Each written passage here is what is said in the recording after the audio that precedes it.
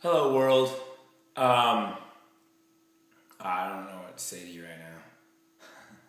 I am. I fell asleep. Now I woke up. I know. I know tomorrow is gonna suck. I know that much. I fell asleep like three, four hours, and I just woke up almost midnight. Mm-hmm. That's where I am. Where? What's? What's? You, what are you? What are you doing in the world out there? You you sleeping?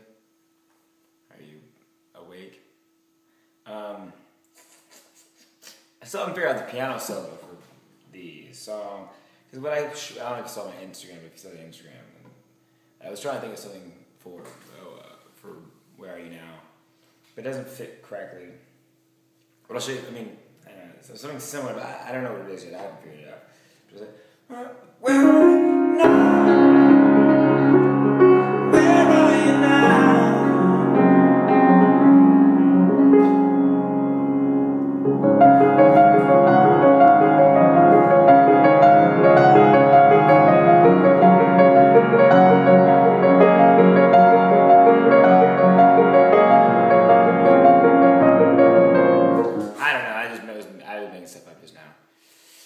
But that's not even the right vibe. It's not the right vibe. It's not something.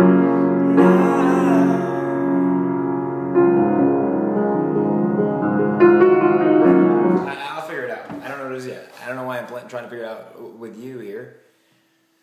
I feel like you're in my room, my living room. Um, all right, I love you. Have a good night. Sorry, this is uh very slow paced daily vlog. Anyone watch Breaking Bad? Jeez. Good lord. That last episode was a doozy, as someone that uses the word doozy might say.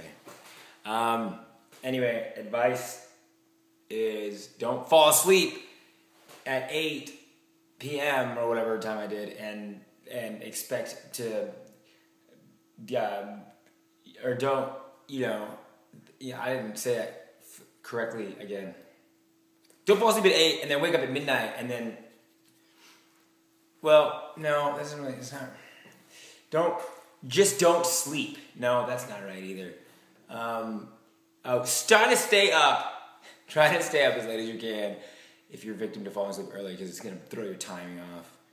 'Cause my timing's going to be so off tomorrow. That's my stupid advice. Deal with it. I love you.